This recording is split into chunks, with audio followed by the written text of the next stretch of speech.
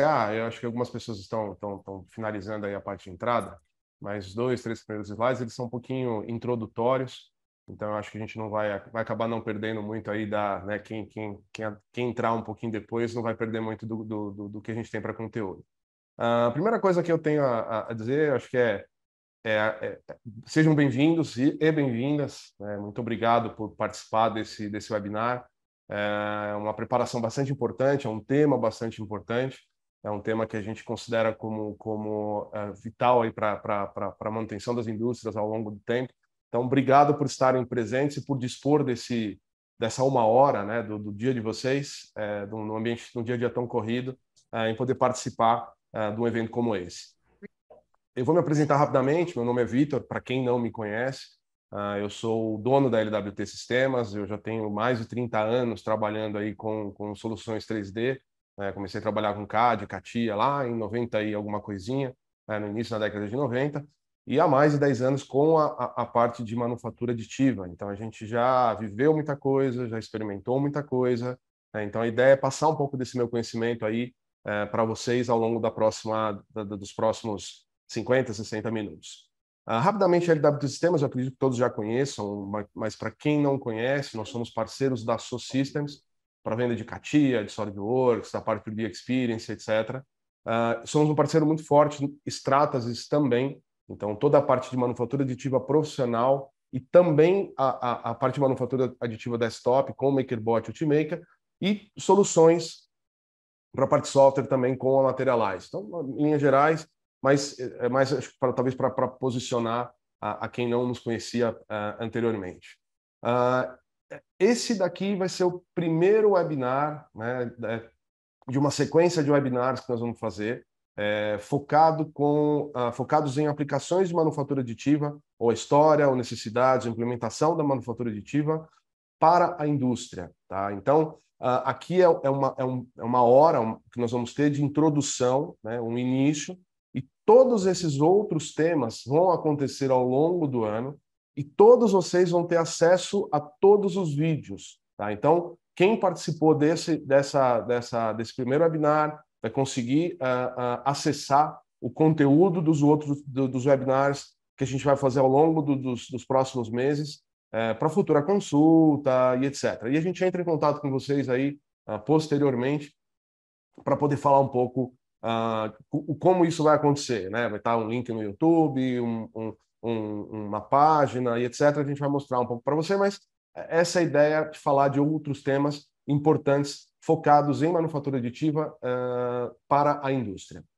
Então, vamos começar agora a falar realmente uh, do, do, do, como começar. Né? A, a gente fala que uh, grande, grande parte, acho que quase todas as empresas, a gente já percebe que já tiveram algum contato com manufatura aditiva, mas a gente percebe que grande parte dessas empresas elas acabam não, não, não fazendo com que a, a manufatura aditiva uh, crie tração, né? continue uh, sendo usada ou sendo aplicada no dia a dia da empresa. Então, a ideia dessa apresentação é colocar alguns pontos que nós consideramos como pontos positivos, uh, importantes né? e que precisam ser cuidados e olhados para uma, uma, uma, boa implementação da manufatura aditiva na empresa de vocês, na indústria. Um dos primeiros pontos é o seguinte: a manufatura aditiva é uma, uma tecnologia é, é, vai acarretar ou vai entregar uma mudança profunda no pensamento de vocês, pensamento da empresa. Tá? É uma tecnologia disruptiva, é um dos pilares da indústria 4.0 e trará sim uma grande mudança na maneira de pensar da empresa. Por este motivo, ela é, tem que ser tratada como inovação. Né? É, é um processo onde as pessoas vão, vão, ter uh, medo, as pessoas talvez não tenham conhecimento. Então, por este motivo, uh, a gente sempre indica que a manufatura aditiva, independente da, da sua, da, sua, uh, da sua maturidade, né, que já é uma, uma aplicação, eu acho que já é algo de longo prazo para algumas aplicações, mas ainda é novidade para muitas outras aplicações. Nós vamos falar disso ao longo dos próximos slides. Uh, é importante que que a, a, a hierarquia né, dentro da, da, da, empresa seja envolvida. Né? Uh, a gente vê muita, muitas, muitas empresas que conseguem, um engenheiro, uh, ele consegue fazer coisas incríveis para a manufatura aditiva dentro do próprio departamento, mas não consegue fazer com que aquilo crie força para que outros departamentos uh, possam ver ou possam se beneficiar, e até mesmo o pessoal que, que, que olha cifras possam entender aquilo que, que aquele engenheiro está fazendo. Então, o envolvimento hierárquico é muito importante. Então, não é um, um, trabalho de um homem só, né? ou de uma mulher só, de uma pessoa só, me desculpa. Não é um trabalho de uma pessoa só, é um trabalho de várias pessoas né, envolvidas. Uh, e, e, e, a hierarquia, ela sim tem que ser: tem que ter um engenheiro, tem que ter o gerente, tem que ter o diretor. Quanto mais pessoas na hierarquia estiverem envolvidas, melhor. Será uma mudança cultural muito grande. Então, é, é, é, prepare-se para lidar com pessoas dizendo: isso não funciona, isso é para fazer brinquedinho, isso, isso, isso não serve para nada. Né? Então, a mudança cultural é muito grande. Né? Tudo que é disruptivo, tudo que é novidade, as pessoas inicialmente têm ali uma, uma, uma, uma aversão, né? uma, não, não gostam muito de, uh, de mudar aquilo que já está funcionando. Né? Então, vai sim ser uma, uma, uma briga cultural uh, muito grande.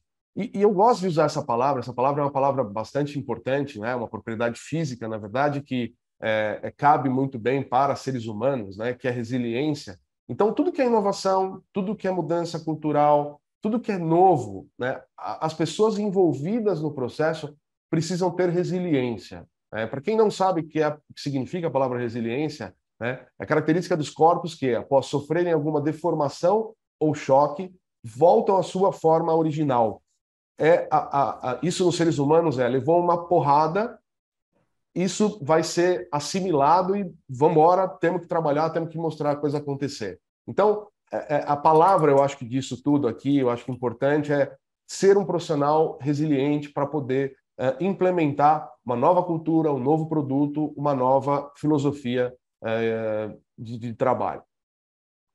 Outro ponto que a gente que eu considero como extremamente importante é que a manufatura aditiva, ela normalmente ela não tem o protagonismo que deveria ter dentro das empresas. Todo mundo acha que a manufatura aditiva é, é, é, é apoia, ela é legalzinha, ela é bacaninha, mas ela não é tratada como ela deveria ser.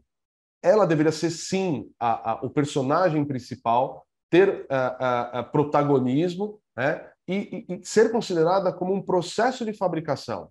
Da mesma forma que o torneamento é, da mesma forma que a, a, o fresamento é. Então, a manufatura aditiva também é um processo de fabricação.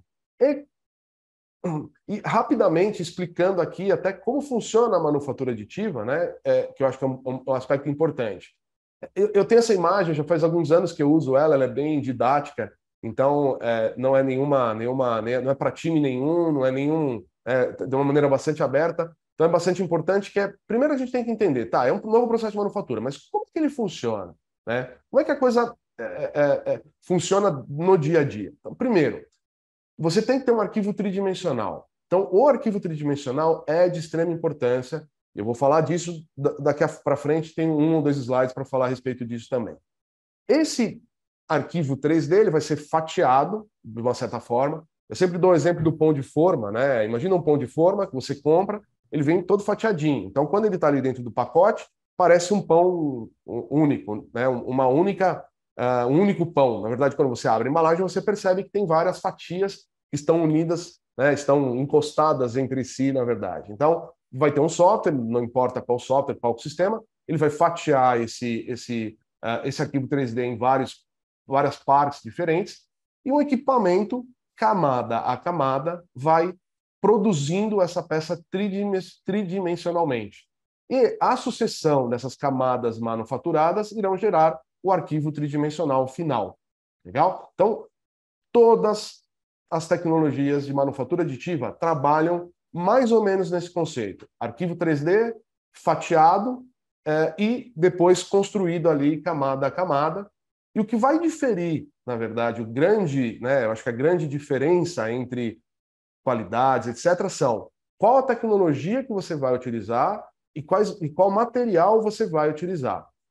Só para vocês terem uma ideia, uh, esse é um, a imagem está bem pequena, não se preocupem com entender a, o que está escrito em cada uma das, das, do, do, das dos, dos, círculos aqui, Mas só para vocês entenderem a quantidade de tecnologias comerciais que nós já temos disponíveis, então a gente tem ali sete famílias, que é, é a primeira, a primeira linha, na verdade, são sete famílias.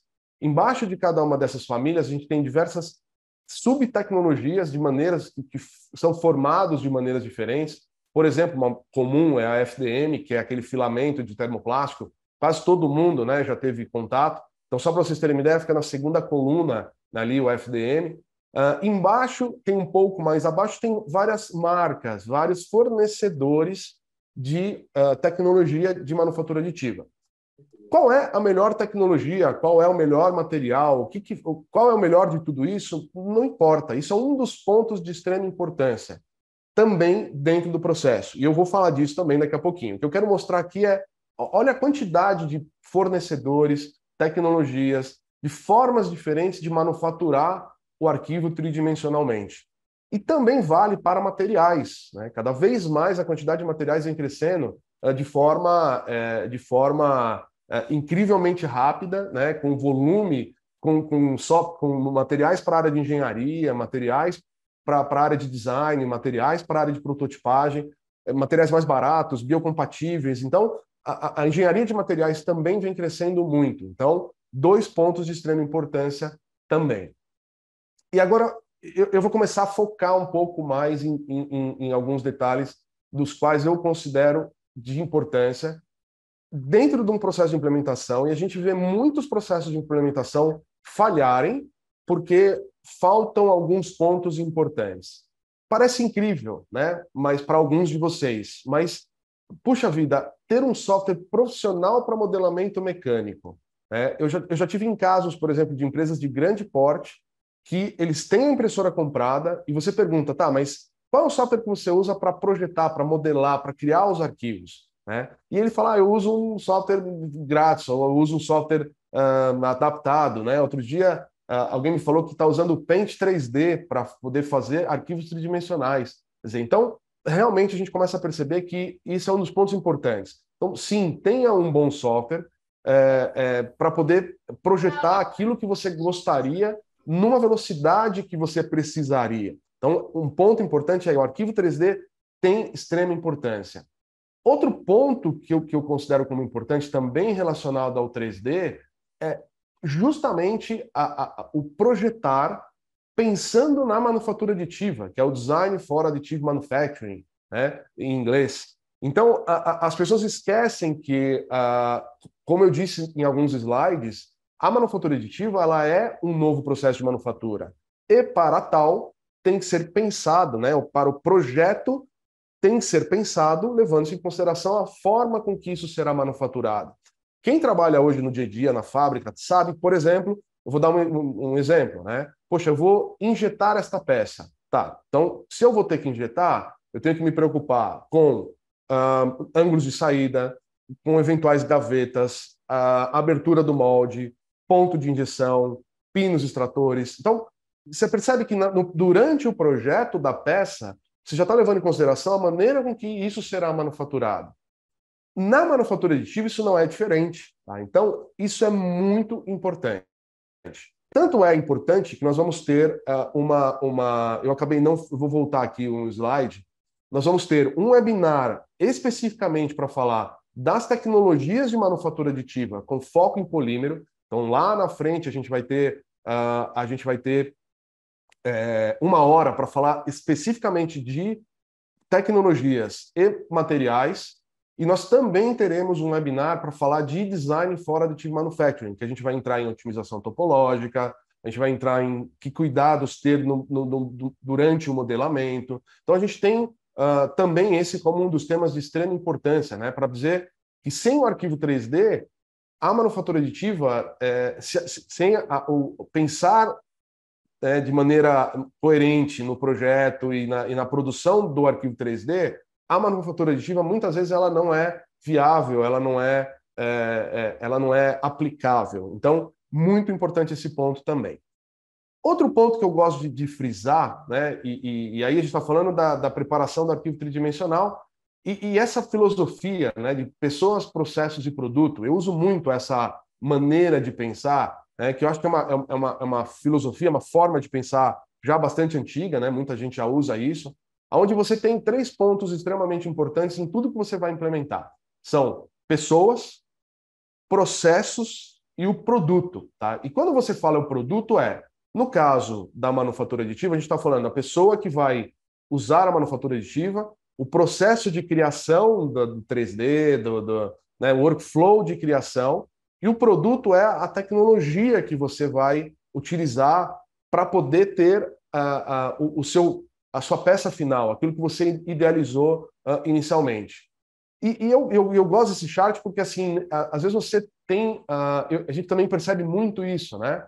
Às vezes as pessoas, elas são pessoas geniais, eu percebo, a gente percebe que pessoas incríveis, têm um conhecimento enorme de, de, de manufatura aditiva, é, elas conhecem muito bem o processo, sabem o design for additive manufacturing, etc., mas muitas vezes não tem o produto, não tem uma, uma impressora de qualidade, uma impressora que eventualmente possa trazer bons resultados. A mesma coisa acontece quando você, às vezes, você, empresas que compram uma impressora caríssima e não capacitam as pessoas que vão usar essa impressora ou não criam um processo. Então, cada um desses círculos, né, cada um desses conjuntos, eles vão trazer uma, um, benefício né, se usados de maneira né, é, é, conjunta, no caso, uma intersecção.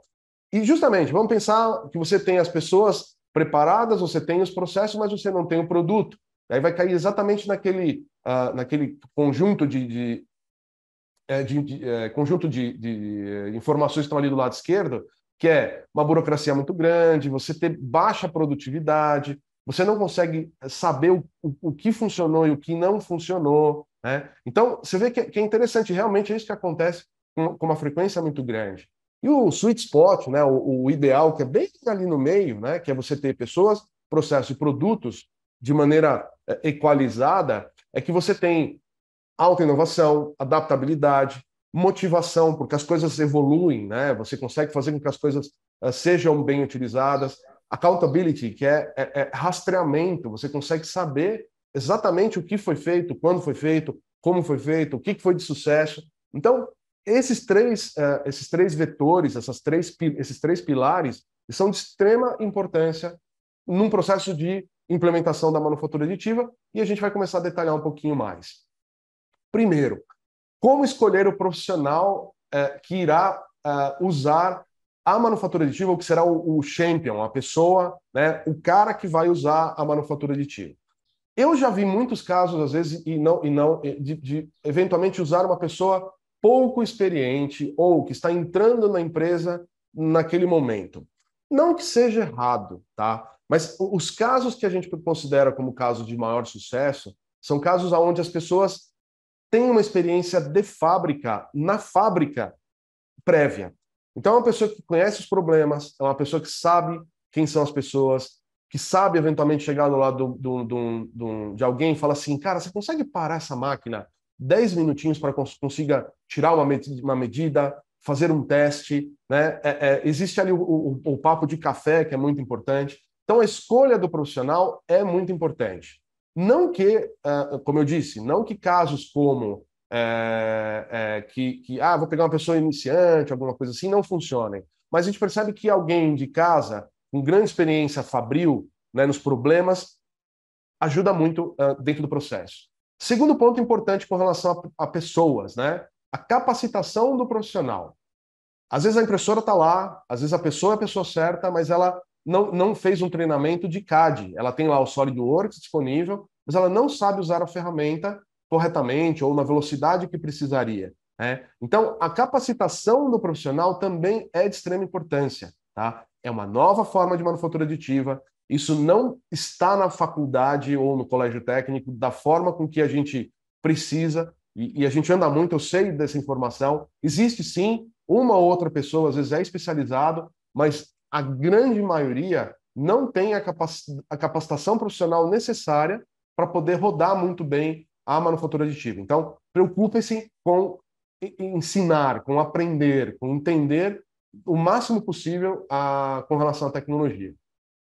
Sempre a ajuda profissional externa é, é importante. Né? Eu, eu, eu, eu, digo o caso da LWT. A LWT ela conhece muito bem a manufatura aditiva, conhece muito bem os processos de, uh, de, de CAD, de modelamento, de geometria, mas nem sempre a gente conhece, nem sempre não, nós não conhecemos a sua fábrica, né, o seu ambiente de trabalho. Então, a junção do que nós conhecemos com a junção do que vocês conhecem gera uma, uma soma de dois vetores extremamente poderosos e acelera demais o processo de implementação e a obtenção de resultados. Então, entendam, é importante alguém dentro, mas a, a, o apoio de alguém de fora também é muito importante. A escolha da tecnologia e materiais é, é, é importantíssima. Então, a gente já saiu da parte de pessoas e estamos falando um pouquinho agora da parte de produto. Né? Eu mostrei para vocês no slide com sete famílias diferentes de tecnologia e, e diversos players. Muda muito: preço, materiais, precisão, material de suporte ou não. Tem, tem dezenas de variáveis que são importantes, né? O quanto que essa impressora é autônoma, né? o quanto que eu vou ter que ter uma pessoa acompanhando aquele processo o tempo todo, o quanto eu garanto que eu vou imprimir uma peça na sexta-feira, que eu saio na sexta-feira às, às 10 horas da, da noite da empresa, e quando eu voltar no sábado às 10 horas da manhã, aquela peça realmente estará impressa. Né? Então, é muito importante que vocês entendam qual é o bolso de vocês e quais as aplicações, né? o que você gostaria de ter como resultado final. Muitas vezes frustra, eu já, eu já vi casos de, ah, a manufatura aditiva, a, impressora, a impressão 3D não funciona, a manufatura aditiva não funciona. Por quê? Porque a impressora escolhida não foi a impressora ideal, a tecnologia escolhida não foi a tecnologia ideal. Então, outro ponto de extrema atenção durante o processo de aquisição, de preparação.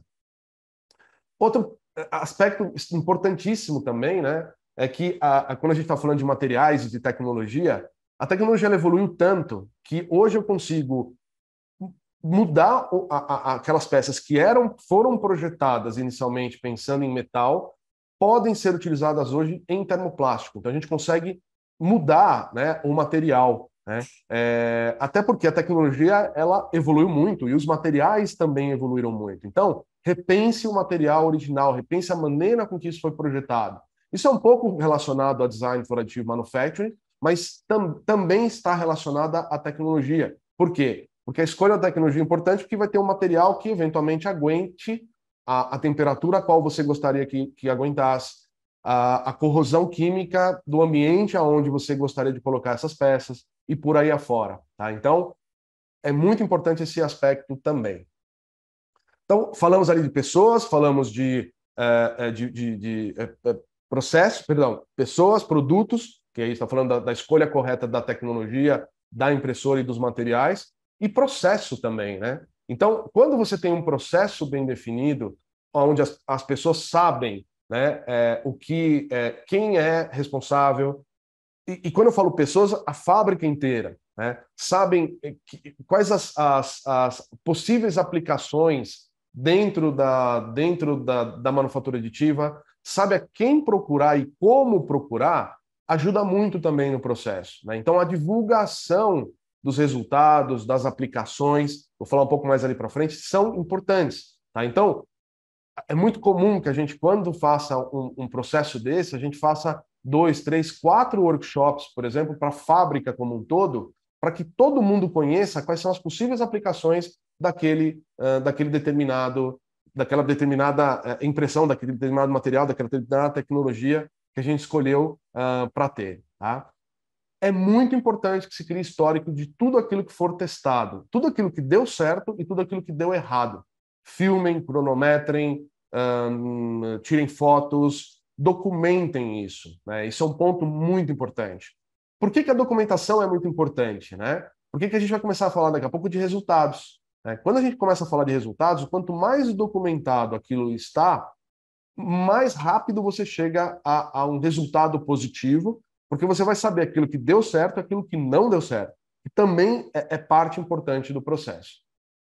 Eu sempre faço essa, essa, esse comentário, né? Eu acho que é bastante importante. Nós não estamos quando, quando implementando algo de, de manufatura aditiva, não é uma corrida de 100 metros. Nós estamos correndo uma maratona. Por que, que nós estamos correndo uma maratona? Porque é, é, um, é uma transição, como é cultural, como é um novo processo, como é disruptivo. Os resultados não são semanais, eles são às vezes mensais, trimestrais, demoram para que você consiga ter resultado. Tá? Então, não tenha pressa. Né? É, para ter o resultado, e deixe claro para todos envolvidos no processo que os resultados são uh, uh, consistentes, duradouros, mas que se demoram, né, demora muito tempo eventualmente para que você consiga os resultados. Outro ponto importante, né, quando a gente fala de resultado, esse é um dos, um dos exemplos, né, que que eu, que eu vou colocar. Eu não vou falar de aplicação, mas eu quero colocar um exemplo de resultado para ilustrar aquilo que eu acabei de falar, né? Que a, a maior, o que a gente percebeu que a, maior redução de custos, na verdade, acontece por oportunidade. O que, é essa redução de custos por oportunidade? É, num determinado momento aparece um problema, esse problema ninguém consegue resolver de uma maneira tradicional, e o fato de você ter a tecnologia disponível, as pessoas preparadas e, e, e, todo o ambiente sabendo que aquilo é possível, que é possível com a manufatura aditiva, você consegue sanar problemas importantes. Esse é o caso de um cliente nosso é, que teve um problema na ventoinha do motor. O motor estava plugado na linha, não importa a linha, não importa o processo, mas é um motor plugado ali na, né, executando a sua função, e que a ventoinha apresentou problema, né, quebrou a ventoinha, ela já não estava mais cumprindo com a sua função de refrigerar o motor. Legal, ligaram no, no fornecedor de motores. Quanto, ah, eu quero comprar a ventoinha. Ah, senhor, a ventoinha nós não vendemos. Nós vendemos só o motor completo. Não, mas eu não quero motor completo, eu preciso da ventoinha somente. Não, não, senhor, só motor completo. Motor, na época, custava ali perto dos seus 16 mil uh, reais. E, e, outro ponto também, né? Ah, é só o motor completo e eu vou demorar 48 horas para te entregar esse motor. Então, o que, que aconteceu uh, na pessoa de manutenção. Entrou em pânico. Falou, poxa, e agora? Eu, eu, eu, eu tenho que comprar um motor uh, inteiro, trocar esse motor inteiro. Então você tem que parar, uh, você tem que ter uma série de problemas de acoplamento, de ajustes, etc. Então é toda uma manutenção complexa de ser feita e que o tempo de parada da linha será de pelo menos 48 horas. Né? Então, a, o custo aí não é nem do motor, não é nem da mão de obra, mas o tempo de parada da linha por dois dias. Uma das pessoas olhou e falou: Poxa, mas e por que a gente não imprime isso? Né? Aí foram lá rapidinho, como eu disse, é o custo da oportunidade. Alguém sabia que a, a tecnologia era uma tecnologia interessante, podia, fizeram um projeto da ventoinha, imprimiram em cinco horas, a um custo de 281 reais, trocaram a ventoinha e, e a fábrica voltou a funcionar. Olha só o quanto de economia, né? não só financeira, mas de, de, de cabelos brancos, né, de, de suores, suor e lágrimas aí, as pessoas não, não tiveram é, ao longo do processo justamente por causa dessa oportunidade. Né? Então, então é isso, é, é, é, é onde eu acho que são os grandes diferenciais e as pessoas esquecem disso, né? E aí vai da divulgação, né? Então, a, a divulgação de resultados é extremamente importante. Então, a divulgação de aplicações, então o tempo todo, fábrica, dá para fazer isso, fábrica, fizemos aquilo outro. Olha, nós tivemos um caso positivo de ventoinha lá na, na linha 2. E se você um dia tiver o mesmo problema, dá para usar essa mesma solução. Então não fica parado, né? não fica.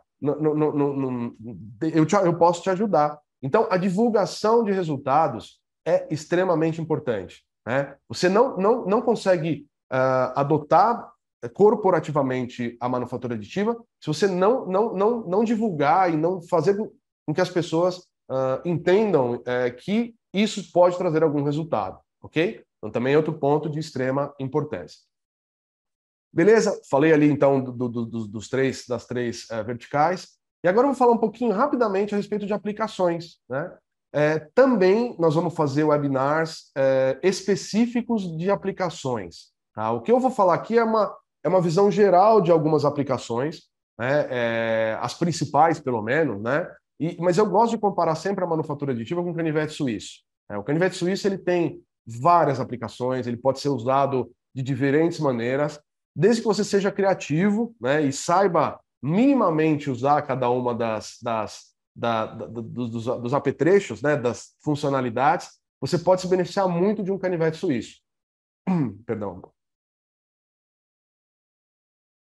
No caso da manufatura aditiva, é, é, eu, eu, faço a mesma analogia. Né? Então, é extremamente uh, importante, extremamente diverso, né? e que a gente pode uh, usar em diferentes frentes, em diferentes situações.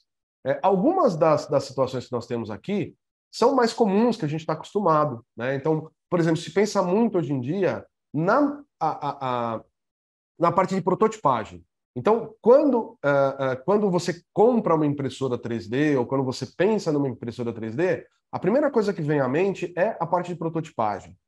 O que eu faço de comparação, e eu acho muito importante, e por isso que eu estou falando de aplicação aqui, é o seguinte. Hoje em dia é muito difícil da gente conseguir, uh, até vou voltar aqui um slide pra, até para falar a respeito disso. Hoje é muito difícil da gente conseguir justificar investimentos. eu acho que uma das grandes um dos grandes desafios da, da indústria nos dias de hoje é você conseguir justificar que aquela tecnologia, aquilo que você está querendo implementar, aquilo que você está querendo comprar, irá trazer um retorno sobre investimento num determinado período. O que, que significa isso? Muitas pessoas compram uma impressora 3D para uma determinada aplicação específica. E aí acaba ficando dentro de um, de um departamento, dentro de um range de aplicações, e as aplicações, uh, e, e, dentro da fábrica, outros departamentos, outras, uh, outra, outras, uh, outros lugares dentro da, da fábrica poderiam estar se beneficiando da mesma tecnologia. Então, a tecnologia ganha força, uh, o, a, o fato de você consumir mais materiais, o custo total de operação do equipamento também é, é diluído, o custo de investimento. Então, é, quanto mais você puder agregar de funcionalidades também dentro da, da empresa onde você está, mais você consegue justificar né, a, a impressora e, e, mais você consegue reduzir o custo total de operação, o TCO, Total Cost of Ownership. Tá? Então, é muito importante que você agregue uh, isso dentro, do, dentro do, do, seu ambiente de trabalho. ok? Agora, vou falar um pouco das aplicações possíveis. Né? Então, muito do, do, no, no, dia a dia, as pessoas... Ah, a manufatura aditiva ela é usada para prototipagem. Sim, ela é usada para prototipagem. Né? Faço uma comparação muito grande, que é o seguinte: você comprar uma impressora 3D só pensando em prototipagem é o mesmo que comprar um telefone celular, um, um smartphone, né, um Apple, não importa, um Samsung, não importa a marca, mas um smartphone, para fazer ligações. Dá para ligar também? Dá, mas hoje 95% do que a gente faz não é não está é, tá relacionado à ligação. A gente escuta música, a gente acessa a internet, a gente responde e-mail, a gente usa como GPS, a gente troca mensagens com WhatsApp, a gente namora, né? Hoje, hoje tem aplicativos de, de, de, de para juntar pessoas. Você é, é, tem Instagram, você tem você tem uma série de outras coisas também que você consegue fazer com o smartphone. A manufatura aditiva é a mesma analogia. Então, a prototipagem, na minha concepção, é a ligação. Ele foi criado para isso inicialmente, idealizado para isso, funciona muito bem para isso, mas hoje você tem como se beneficiar de, de uma dezena de, de outras aplicações uh, importantes. Então, prototipagem, legal. Forma, tá aí está falando em, em, em 3D, em, em, como é que isso ergonomicamente está na mão, perfeito. Montagem, então a gente pode simular montagens complexas, uh, simular uh, se, se essas peças encaixam ou não, etc. E função, também. Então, ali no caso do pedal, eu posso testar se aquele pedal funcionalmente ele, ele, ele, ele funciona ou não. Porque os materiais hoje estão crescendo muito, né? a, a qualidade dos materiais vem crescendo muito. Então, uh, hoje é possível, por exemplo, focar né, é, em aplicações também e não somente na forma. Tá bom? Então, aplicação mais importante, mais conhecida, mas não única e, e, e é a que não que trará muito retorno, mas não só essa aplicações que estão crescendo muito, né? A, a, parte de dispositivos de montagem, gabaritos, berços, guias de furação, suportes uh, e etc. E também a parte de pinças para robô. Então, muito do chão de fábrica a gente consegue substituir aquilo que era feito em nylon, aquilo que era feito em metal, aquilo que era feito de maneira uh, uh, mais tradicional. Hoje tem empresas que, que compram impressoras 3D e 100% dos seus dispositivos da fábrica, manufacturing aids em inglês, quem usa o termo, né, quem conhece, jigs and fixtures, é, é, é, é praticamente 100% é usado com essa tecnologia. Né? Então, para vocês terem uma ideia, outro ponto importante é a parte de pinças para robô. Né? Eu acho que nem toda empresa hoje em dia se beneficia de robôs, aqueles robôs no, conceito mais pesado da coisa, né? grandes robôs para soldagem, etc. Mas uma linha de, de robotização que está crescendo muito é a parte de uh, robôs colaborativos. É, o robô colaborativo, para quem não, não conhece ou nunca ouviu falar, ou, né, mas só para a gente dar, uma, dar uma, uma ideia geral, é, eu, eu, faço a comparação, a brincadeira, que você pode chamar um robô colaborativo para tomar uma cervejinha com você na sexta-feira. É aquele cara que vai trabalhar junto com você no dia a dia, apoiando o seu trabalho ou o trabalho de alguma outra pessoa. Diferente daqueles robôs de solda que ficam fechados, lugares células extremamente complicadas, é um robô que vai trabalhar ao lado de um ser humano.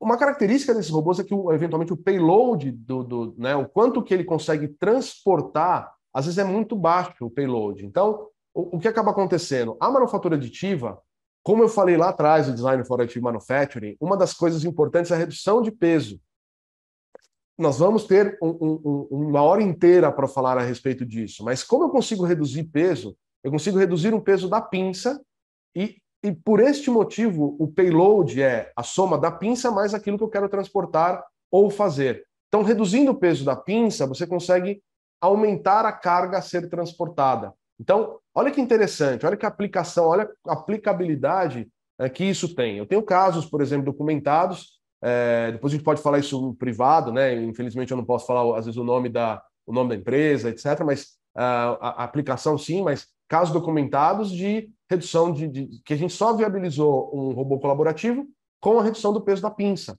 Sem, sem isso a gente não teria conseguido usar naquele etapa do processo um robô colaborativo. A mesma coisa vale, por exemplo, a redução de peso para dispositivos que de montagem, onde o usuário vai ter que transportar aquilo durante 10, 20, 100 vezes por, durante o dia. Então, também é um, um ponto de extrema importância.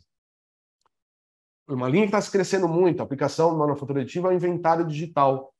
Alguns exemplos, né? Hoje, a, a, a, eu coloquei no caso aqui uma aeroespacial, mas não necessariamente aeroespacial, mas hoje algumas empresas estão usando a manufatura aditiva para imprimir peças de reposição. Então, imagina o seguinte: imagina que você tem hoje um estoque, você é a Embraer, por exemplo, e a Embraer está usando isso como, como é, para projetou alguma coisa, e, e, isso eventualmente pode quebrar, né? Está sendo usado no avião, pode quebrar no mundo inteiro. Então, aonde tem um avião Embraer, você vai ter que deixar uma peça dessa, como spare part, lá para poder fazer a substituição caso seja necessário.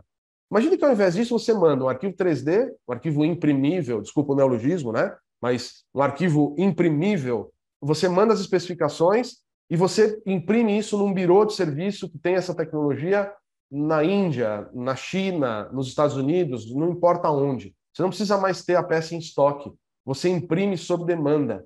Olha só que legal quando a gente está falando em economia circular, né? É, SG, é, toda essa parte de, de, de é, de, de, governança é, e, e, etc., aonde é onde quanto menos se usar da, do, do, da natureza ou de recursos naturais, melhor. Se me imprimir algo lá, você não precisa criar um estoque enorme espalhado no mundo inteiro, onde a logística é um negócio complicado. Se tem uma especificação, essa especificação é, vai ser usada por uma impressão local, num fornecedor local, né, no material que você determinou. Então, também é, a gente vai ter um webinar especificamente para trabalhar também nessa, nessa aplicação, é uma das coisas.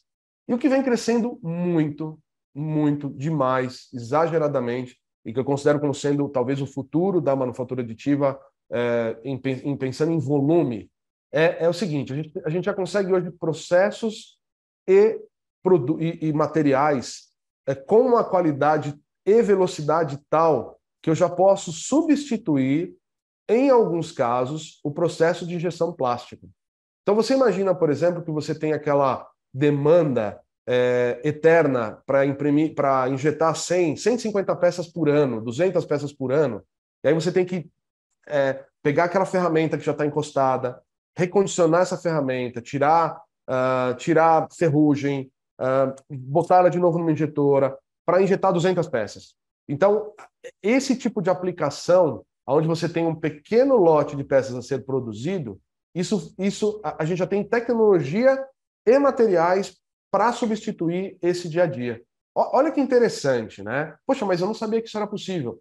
Me procura, procura a LWT. Se você tem essa necessidade, essa demanda, procura a gente para a gente poder te apoiar, porque, é, é, na minha opinião, esse é o futuro. Ah, Vitor, mas eu consigo substituir a, a, por exemplo, para alta produção, um milhão de peças por ano, 100 mil peças por ano? Ainda não. Tá? Então, a gente ainda não chegou nessa maturidade, com essa possibilidade. Mas, pequenos lotes, lotes, por exemplo, quando a gente fala de, de customização é, em série, né? você conseguir usar. Ah, eu tenho, por exemplo, 100 produtos desse, um, que, que eu não tenho uma, uma, uma, uma, uma produção seriada, é uma produção é, com, com baixa quantidade, cabe muito esse tipo de aplicação. Também teremos um, um webinar só para falar dessa aplicação. Um pouco da tecnologia, um pouco dos materiais, um pouco de casos, aonde a gente ganhou, como a gente ganhou. Mas, independente se você é, é, gostaria de entender esse processo antes do webinar, entre em contato com a gente, a gente consegue adiantar essa apresentação tranquilamente para você, tá? Isso vale para todas as outras aplicações também, tá? Não só essa, mas vale para todas as outras aplicações.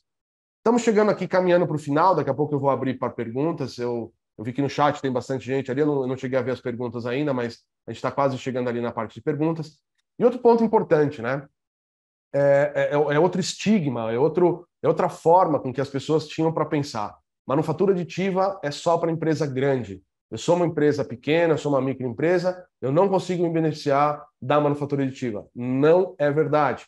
Os custos caíram muito, uh, tanto de materiais quanto de tecnologias. Então, hoje eu tenho impressoras profissionais de altíssima qualidade a um custo uh, interessante. Né? Lógico, a gente não está falando um custo de mil, dois mil reais, mas são, são situações onde a gente consegue uh, implementar. Outra coisa que é muito importante, a LWT apoia e ajuda você nesse processo. Se você falar, poxa, eu não consigo pagar uma impressora à vista, eu, eu consigo uh, uh, comprar uma impressora e, e, colocar, agir como um financiador da sua da tecnologia dentro da sua empresa. Então, fala com a gente. Né? A gente consegue viabilizar, a gente tem várias formas diferentes, uh, leasing diretamente com financiadoras, a gente consegue fazer esse leasing diretamente com a LWT. Então, há várias formas, diferentes maneiras, e a gente consegue sim viabilizar isso, não só para grandes e médias empresas, mas para pequenas e microempresas também. Bom, o que levar daqui, né? Eu estou chegando aqui nos, no, no, acho que mais ou menos 45 minutos de desde, desde o começo, né? Tiro cinco minutos iniciais ali para comentar, mas mais ou menos uns 40. Eu queria resumir um pouco daquilo que, eu, que a gente falou uh, aquilo, né? Eu acho que isso é um ponto importante. Se tiver que levar alguma coisa daqui, eu acho que esse slide é o, é o mais importante, né? Que aqui está compilado de uma certa maneira tudo aquilo que eu considero uh, importante dentro de um processo de implantação de manufatura aditiva. Primeiro, quebre paradigmas, né? inovação e mudança cultural. Tenha resiliência, trate a manufatura aditiva como um processo de inovação. Você vai levar porrada, é fato. Isso é um você, eu, todo mundo. Mas se a gente tiver resiliência, a gente não vai conseguir é, é, ultrapassar a, a, a essa barreira de implementação se a gente não, não bater no peito e falar, cara, eu sou um evangelizador, eu sou o cara, né, o cara ou a cara, né, de uma maneira é, é, é, geral, mas a pessoa né, dentro do processo, e nós não fazer esse negócio funcionar, esse negócio ter resultado. Tem aliados em toda a estrutura organizacional. Quando eu digo em toda a estrutura, é o cara da produção, é o, é o cara do chão de fábrica, é o cara que vai olhar aquilo, vai olhar com olhos, com um olho positivo, e não vai ser um cara que vai falar, pô, quebrou. Eu já vi o cara de longe, o cara pegar a peça impressa e, e, e tacar no chão para quebrar, sabe? Propositalmente. Então é importante que você tenha dentro do seu processo, é, dentro, perdão, dentro do seu da, da sua hierarquia, dentro da sua estrutura organizacional, aliados em todos os níveis, desde o chão de fábrica até o dono da empresa, o CEO, o presidente da empresa, se possível. Né? Quanto mais gente envolvida, ciente e engajada, mais fácil será o processo. A importância do arquivo 3D. Pensa, você tem que projetar para manufatura aditiva. Se você pegar um arquivo que foi projetado para a manufatura convencional e tentar imprimi-lo, mais de 50% de chance de dar errado, porque ele não foi pensado para um processo. É a mesma coisa que você pegar algo que foi pensado para uma usinagem e vai injetar. Não, você não pode trocar, você tem que repensar, talvez reprojetar. Né? O design for additive manufacturing é de extrema importância. Teremos um webinar para falar disso. O profissional na minha opinião, tem que ter foco integral, então ele tem que estar dedicado, ele tem que ser a pessoa responsável pela, pela manufatura aditiva. Então, todo e qualquer problema, todo e qualquer sucesso, toda e qualquer necessidade, a pessoa tem que estar ciente do que está acontecendo para que possa acelerar o processo. E a capacitação dela acelera muito o processo de início. Lógico, a pessoa vai aprender ao longo do tempo, mas quanto antes ele conseguir se capacitar, quanto melhor ele conseguir se capacitar no começo, melhor ele vai ter, é, é, ele vai, vai conseguir atingir objetivos e resultados. Uh, o, tem que ter um processo interno muito bem definido, então as pessoas têm que saber quem é o cara, quem é, quem é a pessoa, quem é o responsável, a pessoa responsável pela manufatura aditiva, como é que eu peço alguma coisa, como é que eu uso a manufatura aditiva dentro do meu dia a dia e por aí afora. Está muito bem uh, definido e, e, muito bem divulgado né, entre todo mundo. Tem equipamentos e materiais que atendam às suas aplicações. Então, o que, que eu preciso? Não adianta você ter um equipamento, uh, um equipamento maior, né, muito mais caro do que aquilo que você vai usar. Né? Os dois lados são, são importantes. Eu já vi casos, por exemplo, de empresas que compraram equipamentos enormes e que usam metade do equipamento. Então, o, a, a, redução de custos não é tão uh, agradável, ou, ou uh, o pessoal acredita que às vezes não funciona. E eu já vi o contrário também. Empresas que poderiam se beneficiar de equipamentos profissionais e estão usando equipamentos de entrada e que também têm algumas necessidades, alguns problemas. Então, escolha o equipamento corretamente. É, é, a escolha do equipamento acho que é um ponto extremamente importante. Você está correndo uma maratona, não é uma corrida de 100 metros. Os resultados demoram a aparecer. Tá? Então, demoram meses, às vezes anos, para realmente aparecerem. Tá? Então, que isso fique claro. Os maiores benefícios aparecem como oportunidades. É o saber usar e ter a tecnologia disponível na hora certa. Né? Estar na hora certa, no lugar certo, é, é, é, é o que nós chamamos de sorte, na verdade, que eu, não, que eu acho que isso é capacidade, né? É, é você estar no lugar certo na hora certa. É você ter a tecnologia e saber usá-la na, na hora que, que você vai precisar dela. Entendam, erro faz parte do processo de aprendizagem. Todo e qualquer tecnologia disruptiva, todo e qualquer processo de inovação é um processo de aprendizagem, tentativa e erro, sucessos e insucessos. Seja criativo. Manufatura aditiva, aquilo que eu mostrei lá atrás, é um canivete suíço, tem aplicações enormes. E, e, eu gosto de colocar sempre, é uma frase batida, mas eu gosto de colocar que é pense grande, comece pequeno e cresça rápido, tá? Pensa grande, pensa que até onde você pode chegar. Bom, vamos começar a fazer testes pequenos, vamos errar pequeno, vamos, né? Errar pequeno, você é, é, tem uma resposta rápida, você já consegue crescer, né? O passos, né? você não vai subir uma escada pulando do primeiro para o último degrau, mas pensa que você quer chegar no segundo andar. Esse é o eu pense grande. Começar pequeno é você vai andar de andar por andar até chegar no segundo andar. E, e cresça rápido e faça nesse processo o mais rápido possível. Beleza? Então, era isso que eu tinha para falar. Eu falei, foram 45 minutos, essa, essa era a minha ideia, em torno de 45 minutos de apresentação. Agradeço a todos aí pelo, pelo tempo, pela disponibilidade. Eu estou vendo que o quórum está tá bem legal aqui, são 63 pessoas. Né? Obrigado até pela, pela disponibilidade, pelo tempo de vocês. Né? E agora eu vou abrir para algumas perguntas, eu vou responder algumas perguntas. Talvez eu consiga responder algumas delas pelo tempo que nós temos, mas caso eu não consiga responder a todas as perguntas, com certeza absoluta eu ligarei para cada um de vocês que fez a pergunta e, e, e vou, é, é, e vou entrar em contato para respondê-la. Caso por algum motivo eu não tenha o seu contato, tipo, tenha se perdido, entre em contato comigo, né? Eu acho que vocês têm lá o meu telefone ou com alguém aqui da LWT, para a gente é, é, é, apoiar você nas perguntas. E caso apareçam perguntas posteriores também, fiquem à vontade. A, a, o intuito da LWT é justamente esse: é apoiar, ajudar vocês nesse processo. Né? Não é um processo fácil, como, como vocês viram, mas é um processo que traz é, é resultados incríveis. Tá bom? Então, eu vou, vou abrir para perguntas, eu vou, vou, interromper aqui o, o, o, stop share e vou entrar na. Vocês devem estar me vendo aí agora. Esse sou eu, né? Cabelo de cabelo branco. Aí dá para notar porque eu tenho 30 anos de 3D. Então, Vamos lá, vamos começar pelas perguntas inicialmente. Eu falei, eu vou, eu vou dar uns 5 minutos, 6 minutos para responder o que der, o que conseguir responder, mas vamos, vamos ver se a gente consegue é, é, colocar. Né? Beleza, o áudio, bom dia, bom dia a todos, saudações, beleza, obrigado. Obrigado, pela, obrigado Bruno, pela, pela, pela, pelo, pelo comentário, né? excelente apresentação. Uh, beleza, qual seria o, o, o, a pergunta do Murilo, Murilo Almeida, é, qual seria o tamanho uh, máximo possível da área de impressão? É, pergunta interessante. Varia muito, né? Eu não, eu não tenho uma resposta definitiva para você, por quê?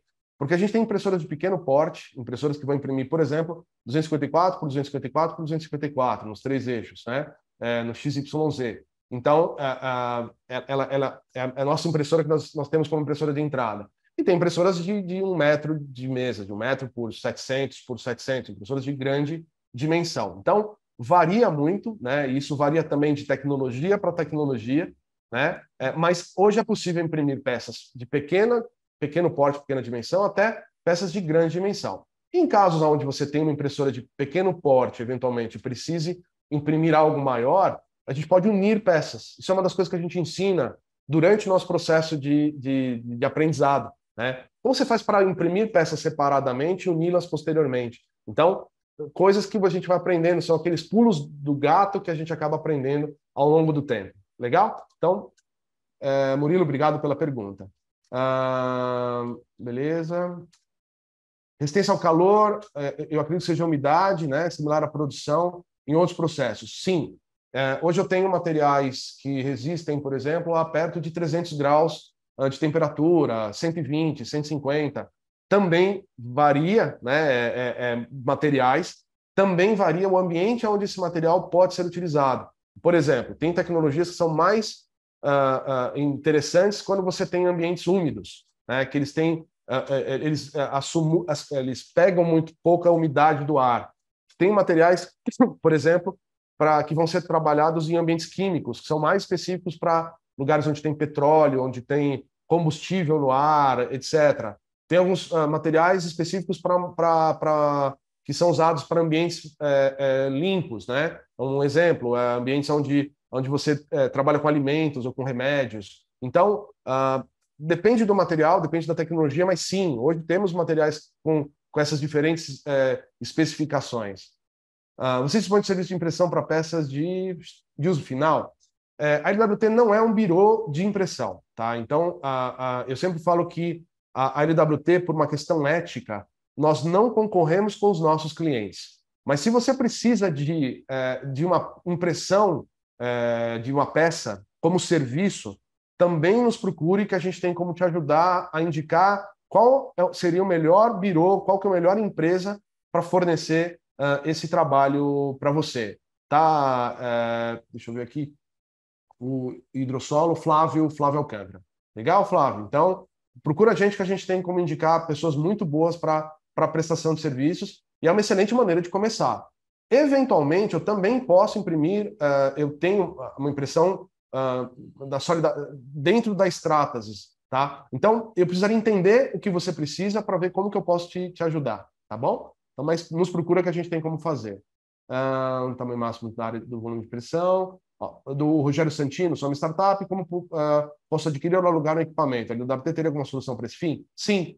É, como eu falei, a gente tem como te, te, te viabilizar de diferentes maneiras a, a manufatura aditiva. Né? Pode ser um, um, leasing, pode ser um, um aluguel, é, aí o nome muda, mas é, é, um leasing, né? não deixa de ser. Então, a, a Rogério, sim, temos, procura a gente que a gente tem como te ajudar. Né? No momento que alguém entrar em contato com você, inclusive, expõe um pouco o seu problema. Né? Com certeza alguém vai entrar em contato. Então, uh, uh, uh, né? se você puder fazer essa gentileza de explicar um pouco mais a sua demanda e a gente tem talvez como, como ajudar. Uh, o fato da produção em camadas impacta muito negativamente a capacidade estrutural? Delano, é a pergunta do Delano. Excelente pergunta. Dependendo do processo de manufatura aditiva, a, a isotropia, que é justamente essa propriedade onde você imprime camada a camada e, e eventualmente numa direção você tem uh, um, eventualmente numa compressão você tem uma propriedade melhor do que numa numa tração ou numa num cisalhamento algumas uh, hoje alguns uh, alguns processos de manufatura aditiva você não precisa mais preocupar com isso. O SAF, por exemplo, o P3, são duas tecnologias onde a isotropia não é levada em consideração, você não precisa se preocupar. Então, a, a, a resistência mecânica da peça impressa é, é praticamente a mesma de uma peça injetada, por exemplo, porque não há esse problema de isotropia, esse problema de estrutural entre camadas, tá bom? Então, não se preocupe, isso hoje já está resolvido, tá? Então, tranquilo. Uh, gente, eu vou responder mais uma pergunta, é, mais uma pergunta, até para a gente encerrar aqui no, no, horário, mas as perguntas às quais eu não, não consegui chegar, com certeza terão resultado, tá bom? Talvez eu grave um vídeo, é, eu acho que até talvez a gente faça isso, talvez seja interessante, a gente grave um vídeo respondendo essas outras perguntas para que todos possam, uh, que, que, que, na, que na versão editada, na versão final, todos tenham as, as, as respostas às perguntas que foram feitas, tá bom? Estou respondendo mais uma pergunta para encerrar, uh, que aqui é a pergunta do Delano também, foi uma outra pergunta do Delano. Há, há muito problema com deformação da peça produzida na execução? A gente tem que tomar alguns cuidados, Delano. É, dependendo do tamanho da peça, dependendo da, da, da, do material, dependendo da, aplicação, pode acontecer sim pequenas deformações. Tá? A gente tem como tratar isso, isso, isso é, é, é, é empírico, dá para a gente melhorar isso, né? mas sim é um cuidado que deve ser tomado na hora de pensar na peça, de projetar a peça, tá? mas, mas é, é um cuidado que, que, é solucionável, mas é um, é um expertise e é um feeling uh, que, que, o, que o próprio uh, usuário deveria ter. Tá bom? Bom, uh, gente, eu, eu, vou encerrar as perguntas por aqui nesse momento, já tá, a gente já está encerrando nosso tempo. É, como eu disse, a gente vai de alguma maneira responder a essas perguntas. Eu gostaria de agradecer novamente a todos e todas pela, pela hora, né, pelo tempo disponível aí, né, pelo tempo que vocês uh, se dispuseram a estar aqui conosco. Né? novamente agradecer. Fiquem antenados, a gente vai perdurar aí esses webinars ao longo do ano. Então, esse é o primeiro de muitos ao longo do ano, gente. Beleza?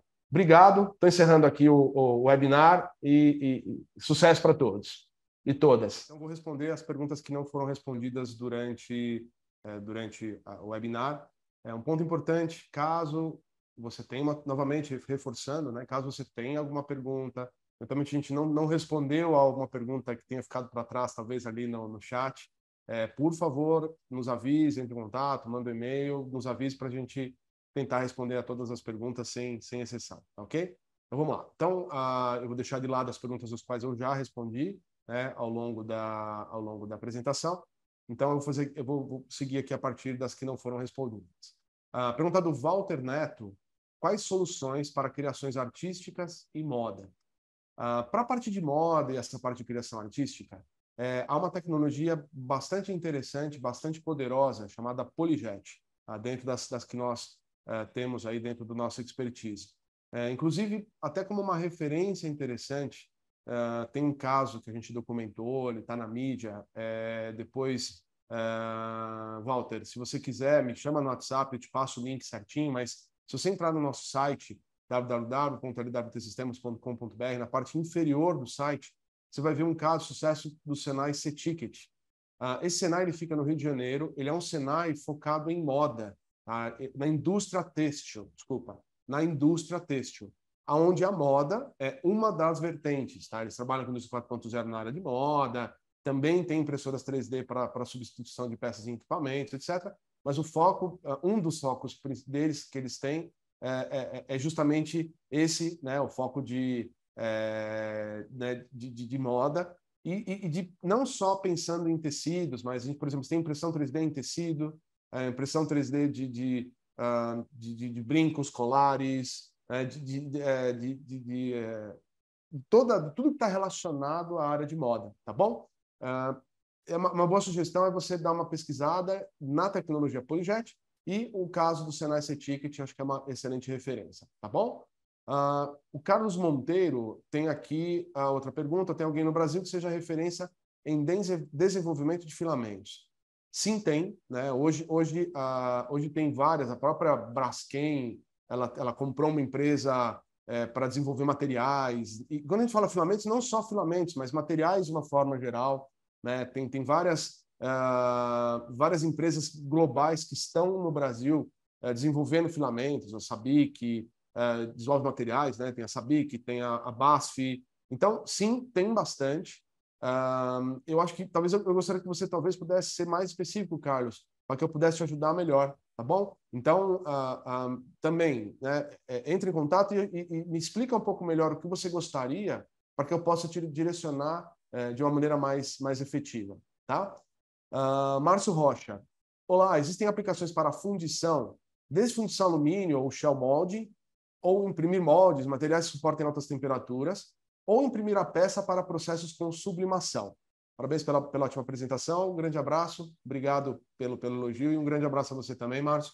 Então, vamos lá. Eu vou tentar dividir a parte de função de uma maneira um pouco mais ampla. É, a gente consegue, sim, imprimir uh, peças calcináveis, que é, uh, que é que ele fala de processos com sublimação. Então, eu consigo imprimir um, um, um standard, né, uma peça que vai ser a peça final, e, e com a parte de molde, processo será perdida, né, peças calcináveis, para justamente fazer, é, é, utilizar a função desta forma. Então, é uma das maneiras. A, outra maneira é trabalhar com caixa de areia. Então, a gente tem a caixa de areia padrão e, usa, e, e, e faz uma peça molde para você é, fazer, para estampar areia, para montar a caixa de areia. Também é uma segunda forma que se pode usar a função, também dessa maneira. Dá para fazer também com cerâmica. Tá? Eu, eu, a gente já teve alguns casos onde você consegue imprimir o core, né, a peça, gerar um molde de cerâmica em volta dessa peça, tirar a parte interna num tanque e, e usar esse molde cerâmico para poder fazer a, a, a, função. Também é outra forma. Então, tem algumas maneiras, dá para fazer bastante coisa. Dentro das tecnologias que a LWT possui, é, não dá para imprimir o molde ou imprimir uma peça, em, em, em, é, assim, exatamente a, a, impressão do molde final para poder fazer. Existe no mercado, sim, empresas que fazem esse tipo de, de operação. Não tem ideia, não, não, não, não né, assim, é, financeiramente quanto elas, elas, custam, mas seria também uma possibilidade é, dessa impressão. Quer dizer, uma impressora de areia, na verdade, e que vai imprimir o molde é, de maneira final. Tá bom, Márcio? Novamente, obrigado aí pela, pelo elogio e, e um grande abraço para você também. Uh, vamos para a última pergunta do Rodrigo Lozan. Uh, estou realizando uma dissertação de mestrado comparando as características mecânicas de peças usinadas e peças produzidas por manufatura aditiva em ligas de titânio 6AI e 4V. Porém, uh, conheço apenas o CTI em Campinas que disponibiliza parceria para impressão. Conhecem mais algum parceiro? Não de forma gratuita, tá? Eu sei que o CTI ele tem várias, várias parcerias, né? E, e, a maior parte das pessoas que eu conheço, que você compra a matéria-prima, manda para eles, eles conseguem fazer a impressão, uh, não de maneira gratuita, tá? Hoje tem sim a, a parte de prestação de serviços para a parte de, de, de, de, ligas metálicas, etc. Uh, se alguém souber, né, dentro do, do, das pessoas que assistiram aí, e puderem também me passar, para que eu possa passar para o Rodrigo, eu, sinceramente, não, não, não as conheço, tá bom? Só conheço o CTI. E ele complementou também aqui, se tiverem material disponível para pesquisa, também agradeço.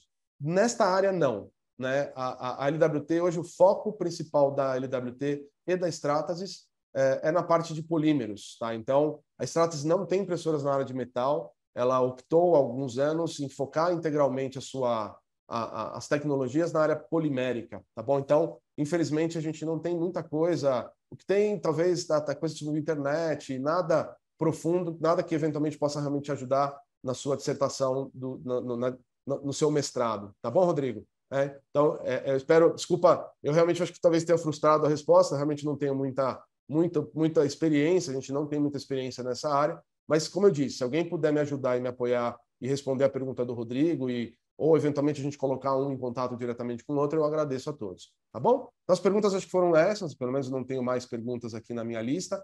Respondi as perguntas que não foram respondidas durante o webinar, e mais as perguntas já foram respondidas, já estão aqui, na, aqui no total. Tá bom? Reforçando, falei no começo do vídeo, é, as portas estão abertas aqui na LWT para uma visita. Né? Nós temos um showroom aqui bastante legal, bem bacana, com impressoras, com peças.